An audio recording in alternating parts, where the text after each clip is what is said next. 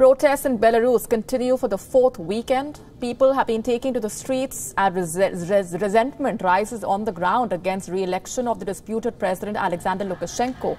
On Saturday, mass security agents dragged students off the streets. Up to 30 students were detained for participating in those unsanctioned protests. People showed up in red and white opposition flags and other colors. Thousands of women also held a separate march through Minsk, shouting, Hands off the children.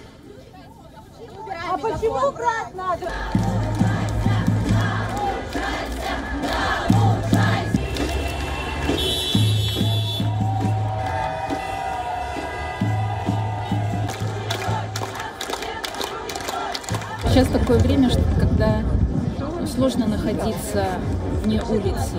Сидеть и смотреть на, со стороны, что происходит, очень сложно. Это из чувства солидарности, что мы не в одиночестве, нас много, и вместе мы способны что-то изменить. Meanwhile, a Belarusian opposition activist has alleged that she had been forced by the authorities to leave her home country. Olga Kovalkova leveled those allegations after she arrived in the Polish capital of Warsaw. Kovalkova is a senior figure in the Belarusian Opposition Coordination Council. On the 25th of August, she was sentenced to 10 days in jail. Калі я знаходзілася за кратамі, да мне прыйшлі супрацоўнікі ўладаў і сказалі, што калі я не захачу, ну, калі я не пагаджуся з'ехаць з імі, калі мяне не вывезуць з краіны, то я буду знаходзіцца ў турме доўга, яны прыехалі да мяне у ізалятар пасадзілі ў сваю машыну апранулі капюшон апранулі маску паклалі на задняе сядзенне і вывезлі мяне з ізалятара яны давезлі я не ведала на які прапускны пункт у які бок мы едзем мы прыехалі на пункт пропуску брузгі Belarusian opposition leader Svetlana Tikhanovskaya will visit Warsaw on Wednesday, where she will be meeting the Prime Minister. Tikhanovskaya has called on the United Nations and the international community to condemn the crackdown on the protesters that, according to her, was sanctioned by the President Alexander Lukashenko.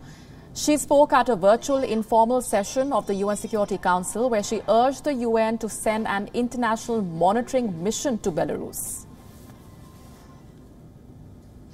Now we, the Belarusian people, need the help of the United Nations in order to stop blatant human rights violations and cynical disregard for human dignity right in the middle of Europe. We ask the United Nations to condemn the use of excessive force by the Belarusian security services against protesters We suggest a special session of the United Nations Human Rights Council to discuss the human rights situation in Belarus. We urge the United Nations to send the immediate international monitoring mission to Belarus to document the situation on the ground. Tikhanovskaya also said that only a transparent and fair election could break the country out of the political crisis it is witnessing. She accused Lukashenko's regime of stealing votes and destroying the evidence of election protocols not being followed. Not just that, she did not want to cut ties with Russia, but any interference in Belarus's internal affairs would be unacceptable, according to her.